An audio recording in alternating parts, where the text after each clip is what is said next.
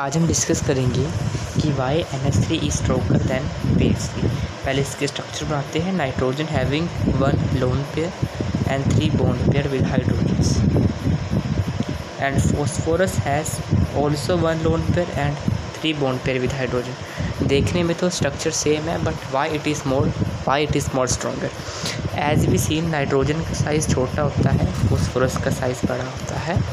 Nitrogen का size छोटा है तो जिसके इलेक्ट्रॉन्स होंगे, जो इलेक्ट्रॉन डेंसिटी होगी नाइट्रोजन के न्यूक्लियस की, वो ज़्यादा होगी। वो इस इलेक्ट्रॉन को ज़्यादा स्ट्रॉन्गली बाउंड करेंगे। फॉर एग्ज़ाम्पल नाइट जैसे कि नाइट्रोजन का साइज़ छोटा है फॉस्फोरस का बड़ा है।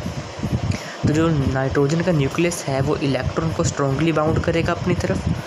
और यहाँ पे फॉस्फोरस का साइज़ बड़ा है तो जो फॉस्फोरस का न्यूक्लियस है, वो इस इलेक्ट्रॉन को लूजली बाउंडेड करेगा। ये लूजली बाउंडेड होंगे, ये स्ट्रॉन्गली बाउंडेड होंगे। तो सिंस इसके इलेक्ट्रॉन स्ट्रॉन्गली बाउंडेड होंगे तो जो ये बॉन्ड होगा, ये बॉन्ड होगा, ये स्ट्रॉन्ग होगा तो so this is since this bond is stronger तो ऐसे ये भी बॉन्ड स्ट्रॉन्ग होगा, ये भी बॉन्ड स्ट्रॉन्ग होगा।